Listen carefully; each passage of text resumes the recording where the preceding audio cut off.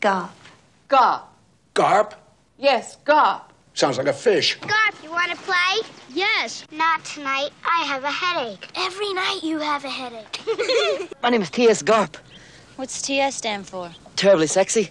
I used to be terribly shy, but I changed. Now make it easy on yourself. Don't be a baby, Duncan. Say dada. I hate to use a corny line like this, but haven't I seen you before? You like football? Oh, yeah, I used to watch it quite a bit. Well, you might have seen me. I was a tight end with the Philadelphia Eagles. TS Garp. Not the bastard son of Jenny Fields. I'm gonna be safe here. We are civilized people, and civilized people obey rules. You have one hell of a way of making converts to civilization. What does the TS stand for? Terribly sad.